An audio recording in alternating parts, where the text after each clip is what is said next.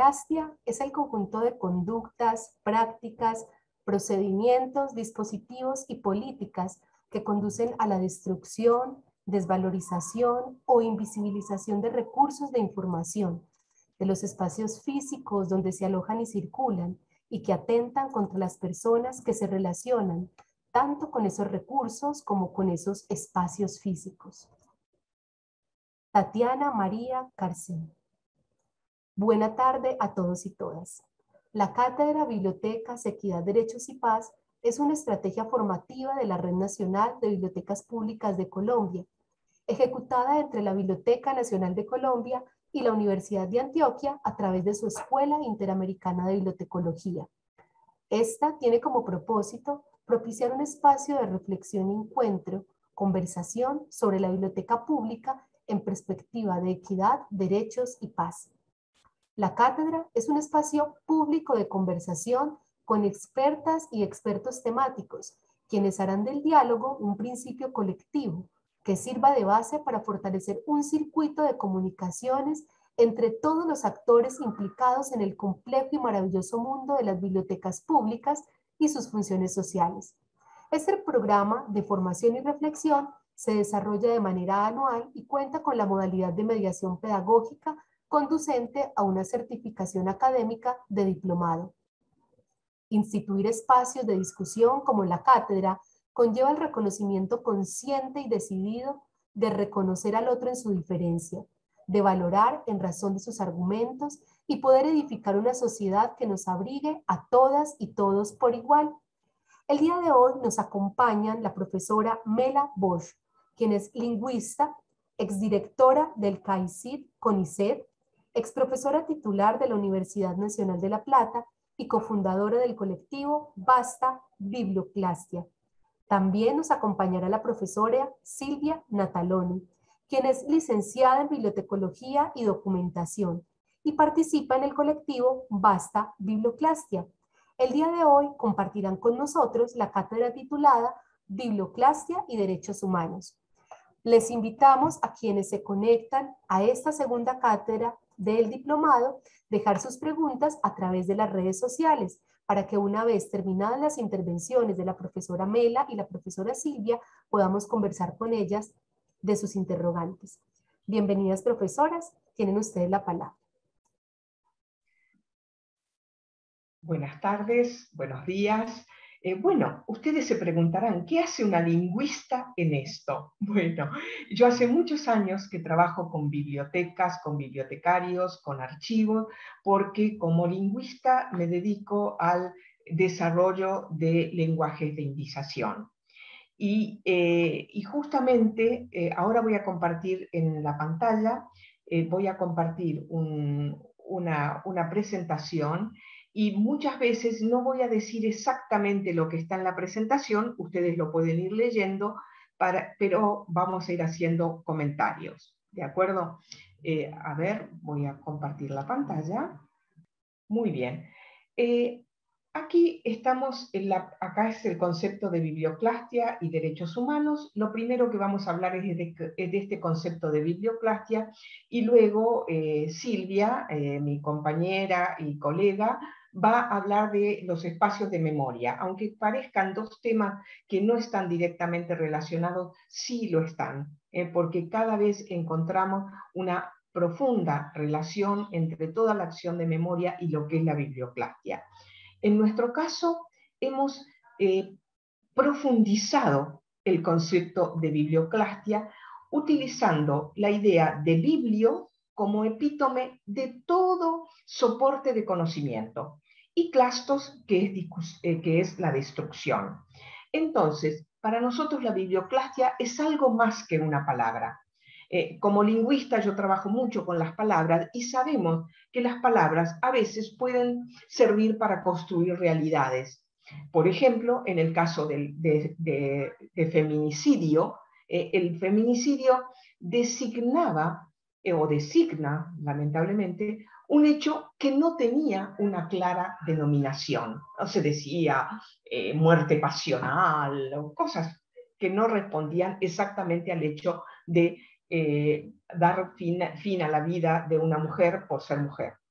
En el caso nuestro, eh, hemos avanzado en este concepto de biblioclastia, considerando que eh, designa no solo la destrucción de libros y bibliotecas, sino también muchos otros hechos que no tenían una clara denominación. Entonces, nosotros lo primero que nos proponemos es ampliar el concepto de biblioclastia para efectivamente configurar situaciones donde decimos acá hay biblioclastia. Cuando una biblioteca, un archivo, un centro de, documentación se encuentra eh, limitado, no con recursos de lectura, decimos es biblioclastia. Eh, y también, muy importante, cuando las personas que trabajan en una biblioteca o en un centro de documentación tienen contratos precarios, son despedidos eh, o no son considerados en su trabajo, lo consideramos también un, un acto de biblioclastia. En la ciencia vamos a encontrar que muchos investigadores se encuentran con graves problemas para difundir su información y también sesgos en la información y en la presentación. Por ejemplo, las científicas mujeres eh, muchas veces se ven sesgadas porque sus nombres no aparecen como tales. Es el efecto Matilde, que en algún momento lo veremos. Entonces, nosotros fuimos viendo que existen otras situaciones donde hay biblioclastia. Eh, también algo muy importante, cuando se desalienta o se limita la práctica de una lectura, de la lectura a una persona o a una comunidad, nosotros decimos es biblioclastia. Nuestra idea es ampliar la idea de biblioclastia y centrarnos en otra cosa, ¿eh? porque es importante llamar las cosas por su nombre. ¿eh? Cuando alguien dice, ¿para qué la biblioteca? Si tenés todo en Internet, es una actitud biblioclástica. Eh, cuando tenemos, hay desvalorización del trabajo del bibliotecario, es biblioclastia.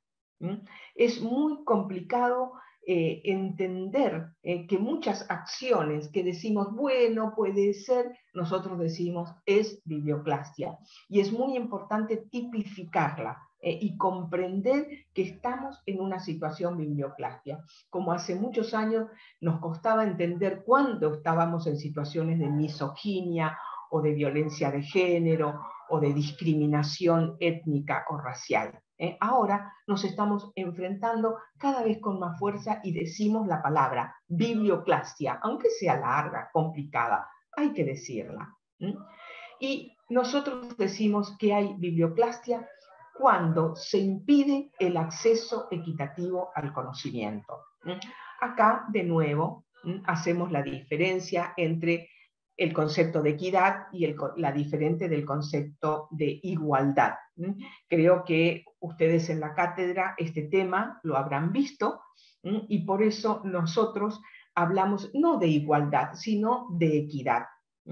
Y en nuestra, en nuestra tarea nos centramos en la equidad y nos proponemos denunciar la biblioclastia, hacer acciones positivas y activas, eh, no solo la, eh, la denuncia, sino luchar y investigando claramente cuáles son las prácticas, los procedimientos, los dispositivos, incluso las políticas que deben favorecer el, acceso equitativo al conocimiento. Esto es el concepto de biblioclastia sobre el que vamos a volver. Ahora, el panorama que queremos mostrar es que para nosotros la biblioclastia vulnera la equidad de derechos relacionados con la información, el conocimiento, los recursos y las personas que trabajamos en ellos. Bueno, acá hacemos algunas, vamos a hacer una, rápida presentación de cuáles son los derechos que se vulneran con la biblioclastia, porque no existe un solo derecho que la biblioclastia vulnera. La biblioclastia atraviesa, eh, es de manera transversal muchos derechos. En los derechos de primera generación, que son los derechos civiles y políticos, es el claramente el derecho a la libertad de expresión. Pero nosotros sabemos que hay como un avance en los diferentes desarrollos, una progresividad en el avance de los derechos humanos, eh, en los derechos de segunda generación, que son derechos muy importantes relacionados con eh, la, economía, la sociedad, la cultura, vemos que en la biblioclastia se vulnera el derecho a la educación, se vulnera el derecho a participar en la vida cultural de una sociedad. Son los derechos que hablan de la autodeterminación. Eh, encontramos que eh, se vulneran los derechos ligados al uso de los avances en las ciencias y la tecnología. Eh, estos derechos de tercera generación son muy importantes porque van a marcar todo aquello relacionado con los aspectos de ambiente, de la coexistencia pacífica, del entendimiento, la confianza. Y finalmente nos encontramos con los derechos de cuarta generación, que son los derechos directamente relacionados con la información y el conocimiento. ¿eh? Y en este caso sí eh, vemos que la biblioclastia eh, como, una, como acciones de tipo oscurantista y de, en contra de la equidad al acceso al conocimiento, se ven casi totalmente vulnerados eh, cuando, hay acciones biblioclastia. Eh, bueno, acá pongo un homenaje a René Cassin, que fue una de las personas que desarrolló la primera Declaración de los Derechos Humanos, y él decía que ah, para defender los derechos humanos tenemos que avanzar con acciones preventivas, con acciones inmediatas y con acciones posteriores. Nosotros en nuestro colectivo estamos justamente tratando de avanzar en cuestiones preventivas, tratando de proteger los patrimonios bibliotecarios y de archivo y de información, acciones inmediatas, hacer denuncias y posteriores cuando hay situaciones que se han producido, acá dice correctivos y represivos, nosotros también estamos haciendo acciones de mediación eh, para evitar eh, las situaciones de biblioclastia. Eh, en este momento estamos preparando todo este tipo de acciones en contra de la biblioclastia. Y la lucha contra la biblioclastia se encuentra con muchas zonas grises, porque hay quienes dicen, no, este, se tiene que pagar los libros, eh, no se puede piratear. Aparentemente hay zonas de colisión que no son tan reales eh, entre unos derechos y los otros derechos. ¿eh? Y por eso uno de los trabajos que nosotros estamos haciendo es la deconstrucción de micro y macro acciones biblioclástica. biblioclástica. Hay acciones que escuchamos y decimos, esto es una conducta, cuando es algo individual, a mí no me interesa, es una conducta. Cuando esa conducta está aceptada socialmente, se transforma en una práctica. ¿Mm? Bueno, las niñas, ¿para qué tienen que leer? Lo importante es que se casen.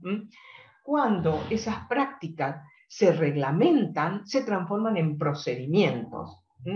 Y cuando esos procedimientos se transforman en leyes, son dispositivos y finalmente las políticas. ¿eh? En algunos países ha habido verdaderas políticas de destrucción del patrimonio cultural ¿eh? y ha habido dispositivos, ha habido leyes que, que vacían las bibliotecas y ha habido procedimientos que eso sí, cuando se ha visto eh, que han quemado libros durante las dictaduras, eh, etc. Entonces, hay todo un ámbito muy complejo donde interviene este, la biblioclastia, que fundamentalmente es eh, obstaculizar el acceso equitativo al conocimiento. ¿eh? Bueno, nosotros invitamos a entrar a nuestro, eh, a nuestro sitio eh, y ver todas las actividades que estamos haciendo, porque eh, tenemos, inclusive hemos desarrollado un formulario para denunciar las acciones biblioclásticas y también hay un vocabulario en el que hemos trabajado con Tatiana Cárcel, desarrollando el concepto este extenso de biblioclasia. Inclusive hemos logrado insertar esta definición extendida de biblioclasia en la Wikipedia. Es eh, si ustedes entran a la Wikipedia en español, van a encontrar esta definición mucho más ampliada, profundizada y con muy buena bibliografía. ¿eh? Así que invitamos a verlo. Con esto yo cierro mi participación. Al final vamos a dialogar sobre esta experiencia. Muchas gracias, Mela. Voy a poner yo entonces ahora mi presentación. Eh, antes que nada, quiero agradecer a mm, la Escuela Interamericana de Bibliotecología por esta invitación. Voy a compartir pantalla, vamos a ver que esta es la parte que más se nos complica siempre. Bueno, em, como dijo Mela, vamos a tratar eh, dos temas, particularmente lo que es la biblioclastia, y vamos a tratar también el trabajo de bibliotecarios, bibliotecarias, eh, con un perfil marcado en los derechos humanos y particularmente en los que son los espacios para la memoria en la República Argentina, la última dictadura militar. Eh, la dictadura militar en la Argentina, aclaro por las dudas si alguien no sabe, que fue la toma de poder este, por la fuerza y por las Fuerzas Armadas en este país, que ocuparon todos los poderes em, a nivel nacional, provincial, municipal, este, colegios universitarios, en todos los aspectos Em, y se llevó adelante entre marzo de 1976 y hasta el regreso de la democracia en diciembre del 82. Eh, perdón, en diciembre del 83. Sin embargo, las, Fuerzas Armadas, si bien este, tomaron el poder el 24 de marzo de 1976, ya venían cometiendo este, mm, su accionar delictivo, lo tengo que decir porque esa es la palabra, eh, desde mucho antes. Con la vuelta de la democracia y se empieza a trabajar sobre los derechos humanos y la visibilización de lo que había sido para la mm, sociedad civil Em, esta dictadura, se empiezan a llevar adelante movimientos eh, para el reconocimiento. Y entre esos reconocimientos em, empiezan a generarse lo que ahora conocemos como espacios para la memoria. ¿Qué son o qué fueron en realidad esos espacios que hoy conocemos como espacios para la memoria, y fueron centros clandestinos de, detención, de tortura y de exterminio. Esto en el año 2011 se modifica y todos esos espacios que se empezaron a recuperar por los organismos de derechos humanos, se los reconoció como espacios para la memoria. En la actualidad son más de 700 los sitios reconocidos. Durante la dictadura militar, y tal vez como ya dije recién un poquito antes, se habían llevado adelante prácticas biblioclásticas o prácticas biblioclastas, este, las más terribles, las más horrorosas, entre ellas la mm, detención y la desaparición de bibliotecarias y bibliotecarias y la quema de libros. En esta imagen que presento acá, eh, se puede ver la quema de libros, que acá la conocemos como la quema de Sarandí. Sin embargo, Este, yo tengo que mencionar que acá en, Córdoba, mm, yo estoy en Córdoba, que es una ciudad eh, nosotros le decimos del interior del país cuando nos referimos a ciudades que no son la capital del, del país. Acá en Córdoba, en nuestra ciudad, se llevaron adelante dos quemas de libros muy importantes, las dos en el mes de abril del año 76. Una de ellas, si bien no es tan grande la cantidad de libros que se quemaron, aunque un libro que se ha quemado por razones ideológicas es igual de terrible que 300, el hecho sucedió dentro de un colegio universitario donde el interventor militar accedió a la biblioteca, seleccionó 19 libros y los quemó adelante de los alumnos. Y el otro hecho ocurrió el 29 de abril, cuando el general Luciano Benjamín Menéndez ordenó una quema colectiva de libros que habían sido secuestrados de bibliotecas colegios y universidades. En esa ocasión se convocó a la prensa local para que se exhiba ante los presentes las pilas de libros que había sido confiscada y ordenó su quema. Ese video está en YouTube, se puede ver y es este, un dato muy importante eh, que sirvió, digamos, para el reconocimiento de estas prácticas eh, como les decía recién sobre los espacios de memoria, algunos espacios de memoria en la actualidad funcionan como espacios culturales y educativos, otros como centros de investigación y otros espacios funcionan como museos y archivos. Sin embargo, tenemos otros sitios de memorias que son los que corresponden a las marcas, huellas territoriales. Acá en las imágenes les presento, por ejemplo, algunos como el Centro Cultural de la Memoria de Arondo Conti, que está en Buenos Aires, que em, originalmente fue el centro clandestino de em, detención, tortura y exterminio más grande del país, que se llamó ESMA, que era la Escuela de Mecánica de la Armada. Vemos este, en otra provincia del país el Museo para la Casa de la Memoria de la provincia de Chaco, también la Escuelita de Famayá en Tucumán, el Espacio para la Memoria La Perla en Córdoba, que es el lugar en el que yo trabajo a Donore y donde este, junto a mi hermana, la bibliotecóloga, la licenciada en Bibliotecología y Documentación Fiorella Nataloni, llevamos adelante el trabajo en la biblioteca. Y como vemos, dos imágenes de estos eh, marcas o huellas territoriales, como son, por ejemplo, el Monumento a las Víctimas en la masacre de Margarita Belén, también en Chaco, y las baldosas para la memoria.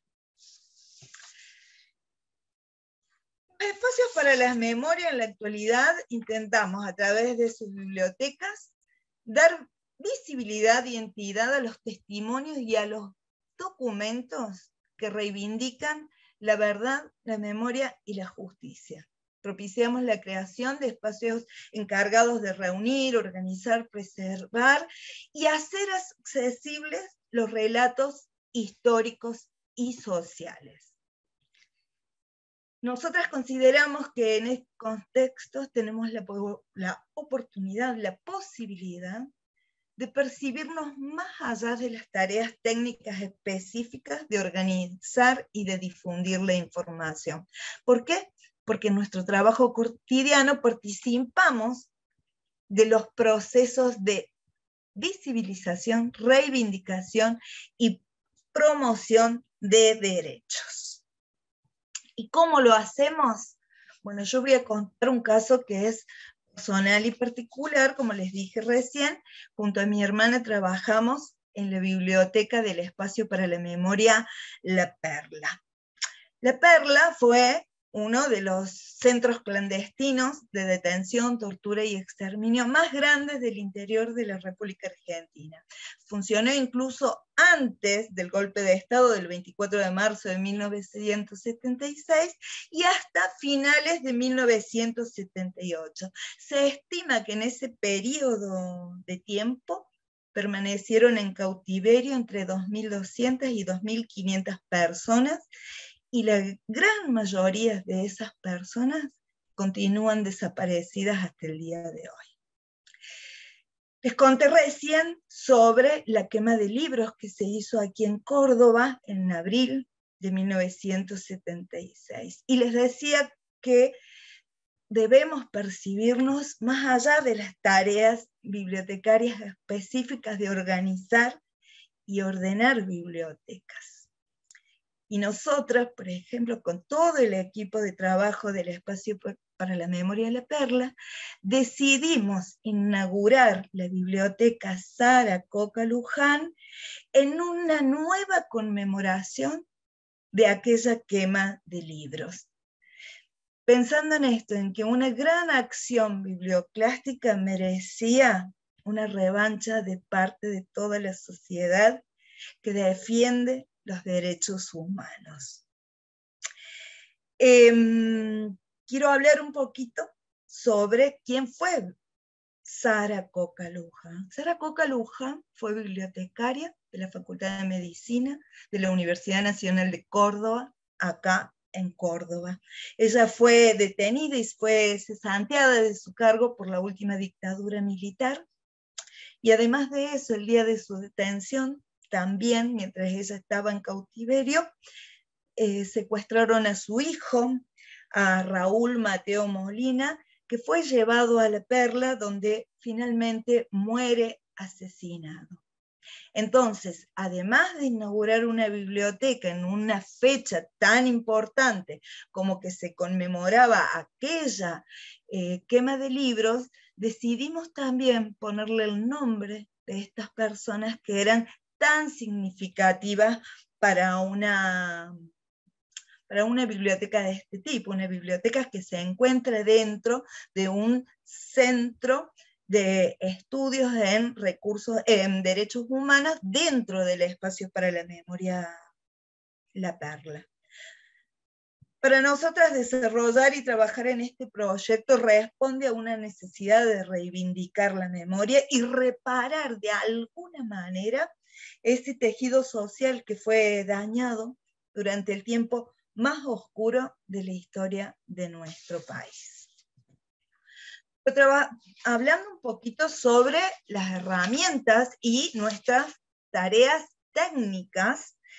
Eh, fue todo un desafío porque para nosotros mm, las cuestiones técnicas de nuestro trabajo son muy importantes.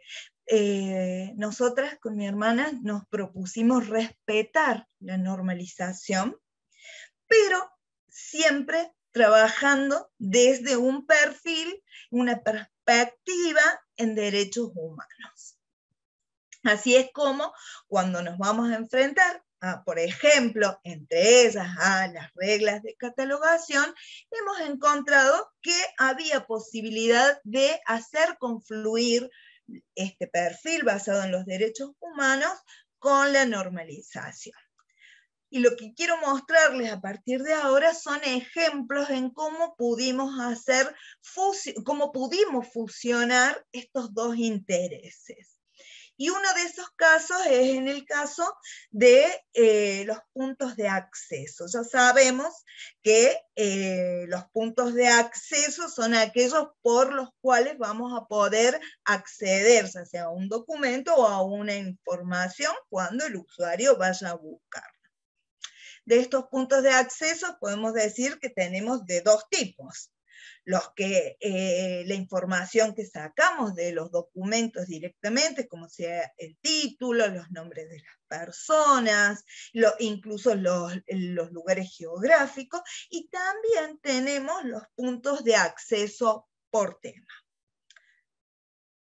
Pero, por ejemplo, eh, hablando de los puntos de acceso de nombres, por ejemplo, nosotros tomamos la decisión de incorporar eh, los sobrenombres o los apodos, como se dice también, ¿Por qué? Porque en aquel momento este, los apodos, los sobrenombres eran muy importantes, incluso mucha gente eh, no decía su verdadero nombre, sino que eran conocidos por apodos. Entonces, por ejemplo, en el caso de quien lleva el nombre de la biblioteca, que tenemos material del libro de ella, decidimos adicionar también como punto de acceso su apodo porque así era conocido.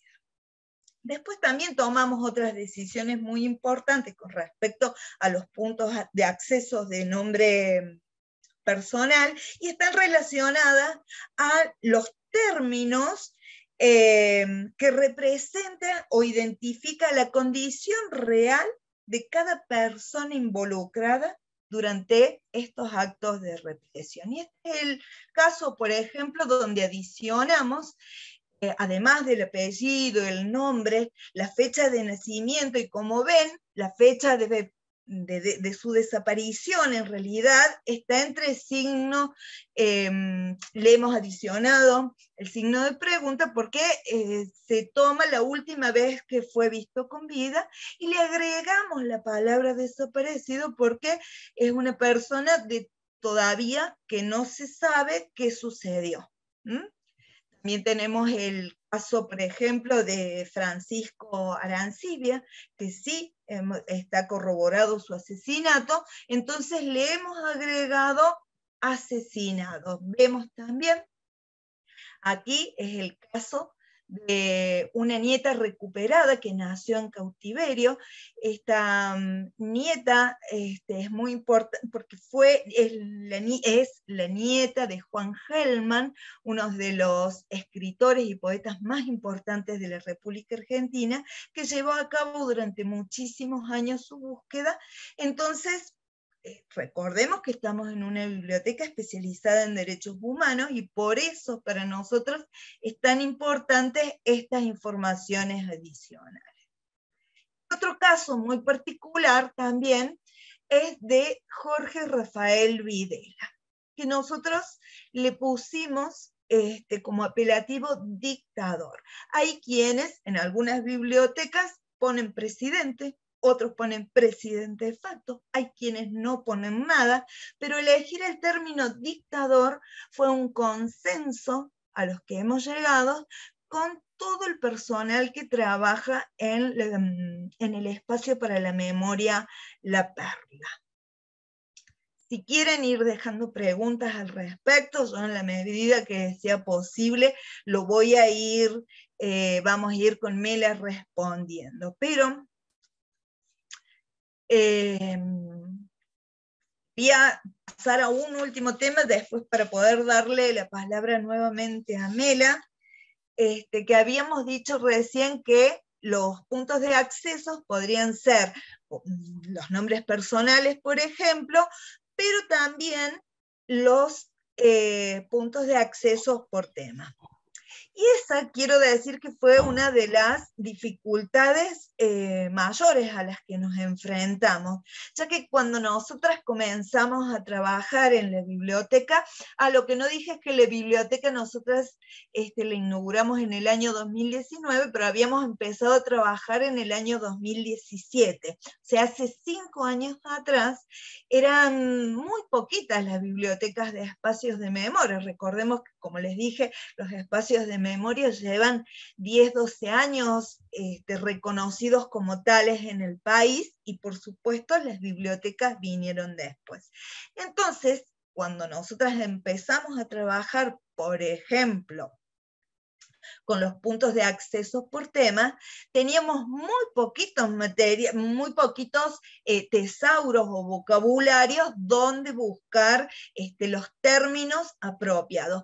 Ah, y digo apropiados porque no estaban desarrollados como hoy, por suerte, sí tenemos esa posibilidad, que hay muchos más lugares, muchos más espacios, donde ya esos términos se han ido trabajando con estas perspectivas de derechos humanos que yo le hago mención. Incluso entre, este, fue uno de las, de las últimos que se incorporó, que es el vocabulario de una biblioteca de espacio de memoria, como es la Biblioteca Obispo Angelelli, que fue la que, le mencioné recién del Centro Cultural Haroldo Conti, donde funcionó la ESMA.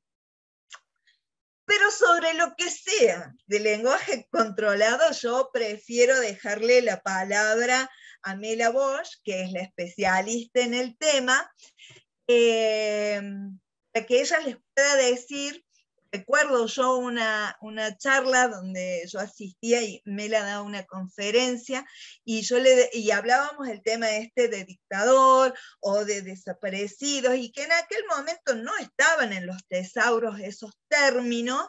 Entonces, este, em, recuerdo que Mela decía, bueno, las cosas hay que nombrarlas por como son, si no, no, no podemos basarnos en eufemismo porque si no se tergiversa este, la memoria y la realidad. Pero, como les dije, ese tema yo prefiero que eh, lo hable Mela. Lo que sí, antes de despedirme, de cederle la palabra directamente a, a Mela Bosch, quisiera decirles que es necesaria nuestra intervención con un ineludible compromiso social, histórico, cultural y político, para que no se cometan prácticas biblioclásticas que presenten como resultados concesiones, ausencias, omisiones, sesgos o negaciones que interfieren en el propósito de generar memorias colectivas y sociales y por consiguiente en el acceso equitativo al conocimiento. Me la voy a sacar yo mi presentación, así te dejo la palabra a vos. Muchísimas gracias. Bueno, yo tengo que hacer solamente una rápida mención porque nos, gusta eh, dialogar al final. Eh, creo que ustedes saben la importancia del desarrollo de lenguajes controlados que sean específicos a las situaciones. Eh, nosotros lo que hicimos fue, cuando yo estaba como directora del Centro Argentino de Información Científica y Tecnológica, el CAICIT, que pertenece al CONICET, que es el organismo de administración de la ciencia a nivel nacional eh, en, Argentina, eh, nosotros desarrollamos un programa institucional eh, de investigación donde estuvimos durante tres años elaborando un vocabulario de biblioplastia, que ustedes lo pueden ver en nuestro sitio y en diferentes lugares, y que es un vocabulario que justamente intenta hacer lo que estuvimos hablando de identificar estas acciones. Eh, es lo más llamativo y lo más terrible es lo que hemos visto, aquello con lo que Silvia y Fiorella luchan y están todos los días en la perla, pero también hay otra biblioplastia cotidiana eh, que se está estableciendo en práctica sesgos en la información, eh, formas de decir las cosas que, no se, que en realidad no están describiendo realmente los fenómenos. Para la parte de derechos humanos, como mostró Silvia, hay muchos vocabularios que se están haciendo, inclusive a nivel eh, latinoamericano, eh, sé que en Chile, en, en Bolivia, en México, se están desarrollando vocabularios. El enfoque que pretendemos desde la biblioplastia es ver los fenómenos, esta situación que aquí acceder a la lectura. Cuando eh, una niña no puede eh, leer o un niño está eh, separado de su de su conocimiento ancestral también. ¿eh? Si ustedes entran a nuestro sitio, van a encontrar que hicimos una proclama donde vamos dando todas las pautas eh, de lo que consideramos biblioplastia, porque tiene que haber una confluencia eh, entre el concepto de biblioplastia y los conceptos de derechos humanos. Es lo que nosotros estamos viendo y el eje va a estar marcado en el acceso equitativo al conocimiento. También para terminar, les, eh, les comento que nuestro colectivo eh, con el auspicio de la Facultad de Filosofía y Humanidades de Córdoba, eh, de, homenaje a los bibliotecarios desaparecidos y asesinados durante la dictadura militar, hemos lanzado el encuentro internacional Basta Biblioplastia, que será, eh, que tendrá su lanzamiento el, eh, virtual, eh, va a tener un lanzamiento este, presencial y de forma virtual se va a mantener hasta más o menos el mes de octubre con trabajos muy interesantes que exploran diferentes aspectos de la biblioplastia, de los derechos humanos involucrados en la biblioplastia, con personas de aquí, ah, muy bien, perfecto, Silvia acá nos está dando los enlaces, eh,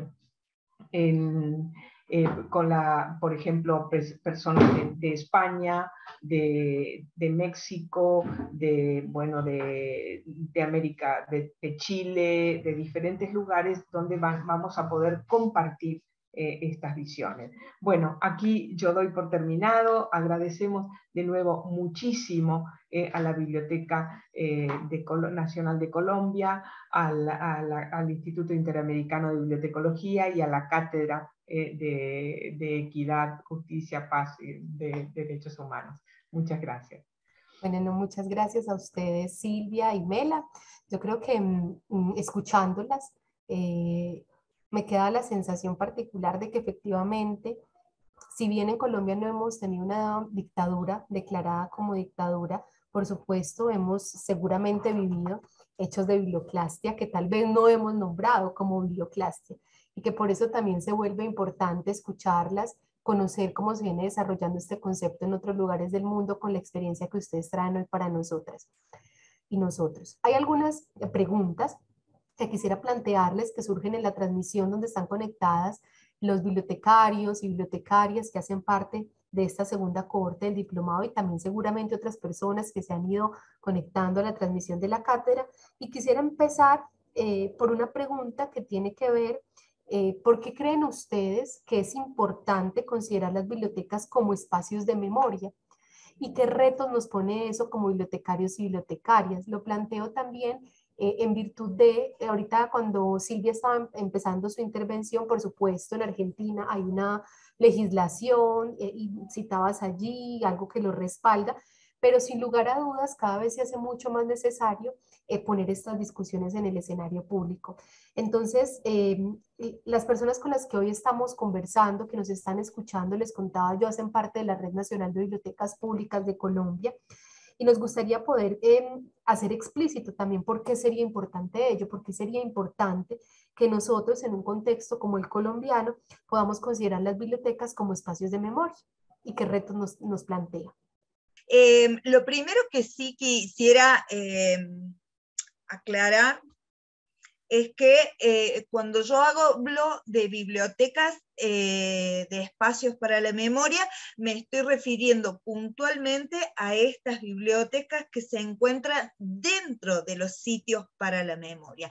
Pero más allá de eso, sí considero que las bibliotecas son espacios de por sí de la memoria porque es donde se alberga el conocimiento más diverso de toda la humanidad porque podemos tener bibliotecas populares, bibliotecas rurales, bibliotecas universitarias, bibliotecas especializadas.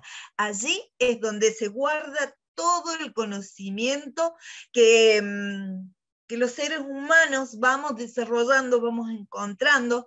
Eh, y porque funcionamos como agentes democratizadores. Recién me la decía, si me quieren cobrar para, para que pueda llevarme un libro de una biblioteca, estamos vulnerando un derecho. Estamos frente a una acción biblioclástica. Ahí es cuando los bibliotecarios y las bibliotecarias tenemos que defender esos espacios. ¿Por qué? Porque somos la memoria de la humanidad, las bibliotecas. Eh, no sé si querés agregar algo más, Mela, al respecto. Eh, sí, eh, de hecho, justamente cuando nosotros decimos que biblioclastia es toda vulneración al acceso equitativo al conocimiento, es porque las bibliotecas, los centros de información, son realmente puntos de acceso al conocimiento. También una de las cosas que estamos impulsando en nuestro colectivo es llegar en algún momento, todavía nos falta mucho trabajo, a una ley que penalice las acciones biblioclásticas. Eh, porque eso es muy importante para que una destrucción de la memoria colectiva de una sociedad pueda ser sujeta a punición, a castigo, porque hay reparación fundamentalmente y prevención paso la palabra, no sé si tienes algo, Natalia. sí, claro, y, digamos que esa pregunta, digamos esa pregunta inicial, porque acá tengo otras preguntas, está situado en un hecho muy importante que vivimos hace muy poco tiempo y fue la entrega del informe final de la Comisión de la Verdad, que es un informe que contribuye a comprender lo ocurrido durante el conflicto armado en Colombia y que nos permite tener una, digamos, una visión eh, compleja, pero también una visión tal vez un poco más orgánica de, de, lo que nos ha acontecido como sociedad. Y cuando preguntamos un poco sobre el tema de, las instituciones de la memoria y la biblioteca como instituciones de la memoria, tenemos acá en, el chat, en el WhatsApp de, los grupos, de los bibliotecarios y bibliotecarias que participan, una pregunta en relación con esto. O sea, si, si somos espacios, si bibliotecas como espacios de la memoria, y tenemos un reto muy grande, un desafío como país en relación, por ejemplo, con la entrega de este relato que compone el informe de la Comisión de la Verdad, cómo hacer, cómo interpretable los testimonios y resultados incluidos en el informe de forma que estos puedan ser recuperados y transformados en nueva información.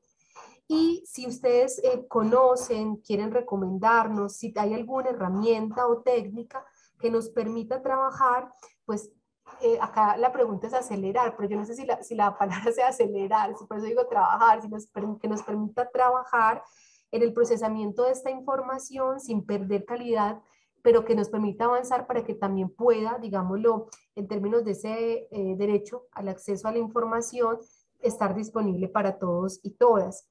Esa es una pregunta, otra pregunta, y pues tengo otro par de preguntas después de esta. Sí, eh, yo ah. no, terminé de entender bien la pregunta, pero si vos la entendiste, Mela, te dejo a vos. pero la, creo, que, creo, que, se están refiriendo a un repositorio digital. Ah. Eh, lo que ustedes están buscando es un repositorio. Digital. Nosotros tenemos, Vela, una plataforma. O sea, se hizo la entrega de un informe eh, el informe tiene unos recursos y una plataforma, pero la pregunta que hacen en el WhatsApp donde están los grupos de participantes es que esa plataforma existe, ¿cierto? Pero en lugar de las bibliotecas como instituciones de la memoria, o sea, ¿cómo hacer para procesar esa información y que a través de las bibliotecas esta pueda disponerse? Y por eso la pregunta que, que se hacía, que hacían acá, la valer tal cual, es cómo hacer interpretables los testimonios y resultados incluidos en ese informe que se entrega al país, para que puedan ser recuperados y transformados en nueva información a través de las bibliotecas. Sí, en los repositorios eh, lo que a veces se hace es eh, justamente, yo he trabajado como directora del CAICID, nosotros teníamos un repositorio sobre lenguas en peligro de extinción y había muchos testimonios orales. Entonces, eh, en estos casos lo que uno hace es dividir en unidades, eh, hay que eh, hacer un trabajo de, que ahí ya es un trabajo técnico, donde se subdivide el documento en unidades de acceso que son etiquetadas.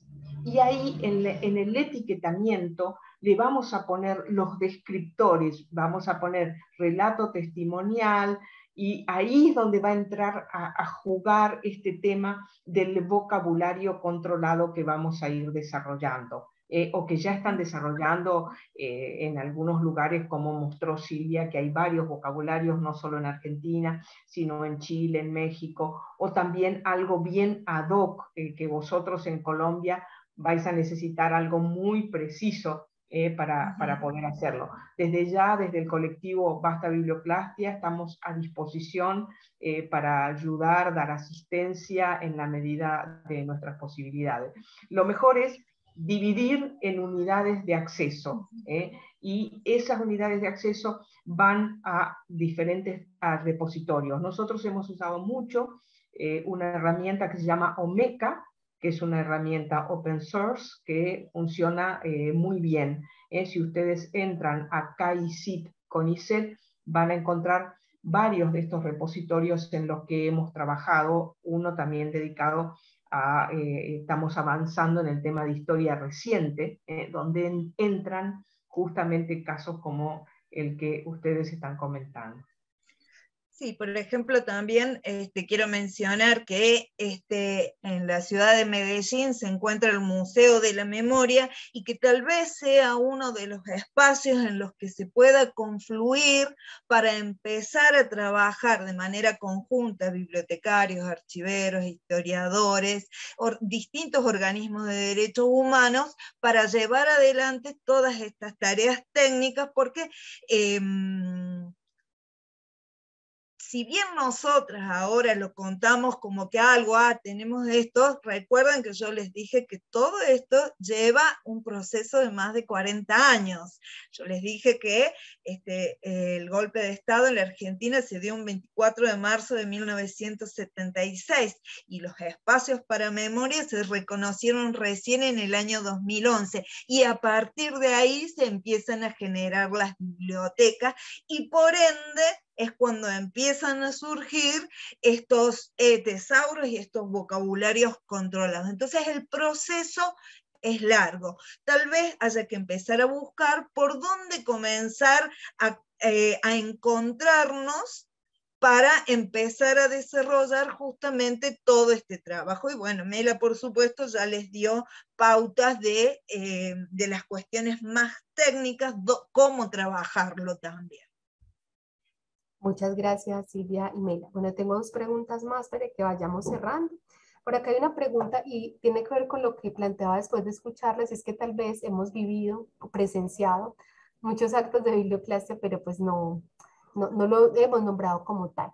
Y hay una pregunta de uno de los participantes y es si la persecución a Juliana Sague puede también ser un caso de biblioclasia. Pido perdón por la falta de información. Eh, yo no vivo en América Latina, vivo en Italia y, este, y hay veces que no tengo información suficiente. Si me pueden resumir el caso, podemos, podemos decir algo.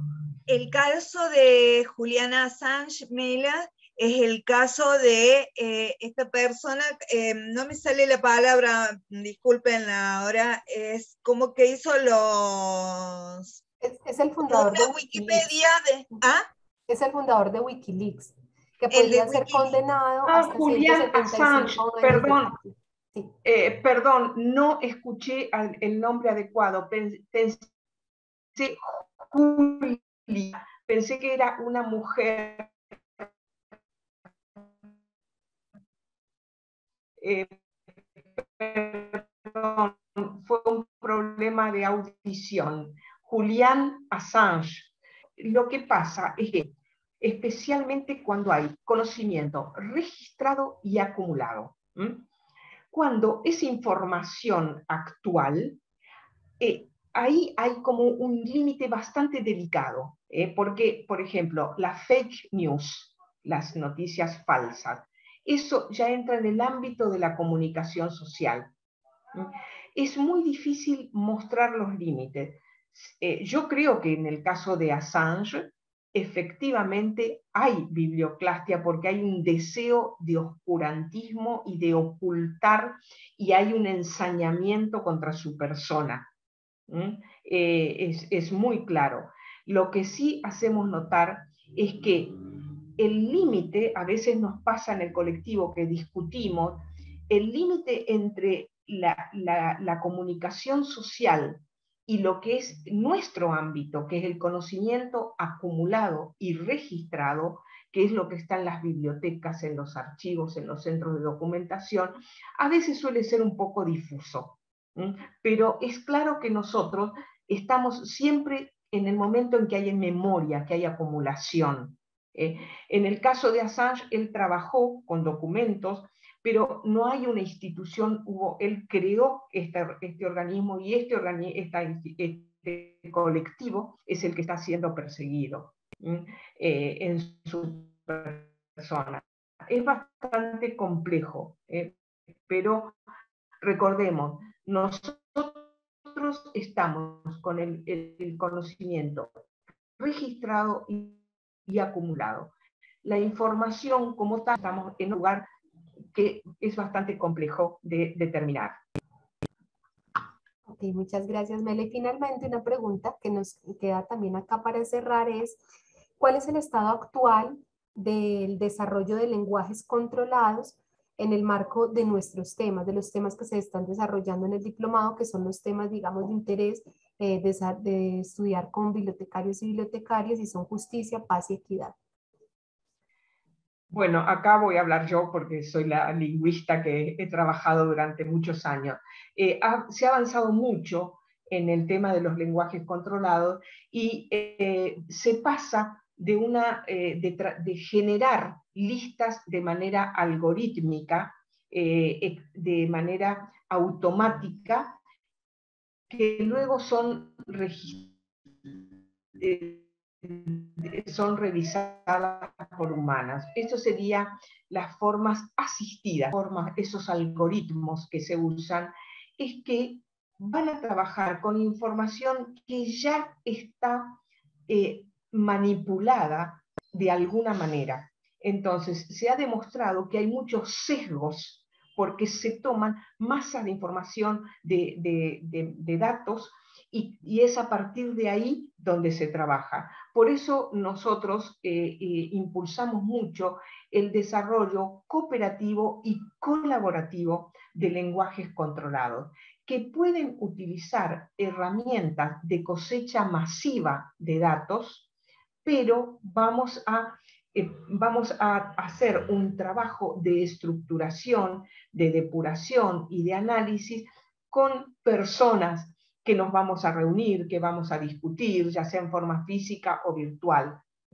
Porque si se trabaja únicamente con algoritmos, por ejemplo, hay una matemática que es eh, Katie, Katie O'Brien, que ella ha mostrado cómo hay muchos sesgos que eh, que directamente invisibilizan la presencia de personas LGTB o personas de, etnias que no son hombres blancos eh, y, de, una determinada de países centrales. Eh, ella hizo estudios matemáticos demostrando cómo esa información, esa, eso sesgaba. Y eso también sesga cuando se usan únicamente algoritmos automáticos para eh, organizar temáticamente la información, como podemos verlo en, muchas, inclusive bibliotecas muy importantes que están utilizando algoritmos automatizados. Muchas gracias, Mela. Muchas gracias, Silvia. Yo creo que ha sido un encuentro muy importante para nosotros, para nosotras, escucharlas, aprender de su experiencia y, por supuesto, también ponerle nombre, da, poner una palabra para muchos asuntos que en ocasiones muy recurrentes vulneran los derechos humanos. Agradecemos también a todas las personas que se han conectado a este espacio, nuestra segunda cátedra, Biblioclase y Derechos Humanos, y les invitamos a seguir participando activamente de esta segunda corte del diplomado.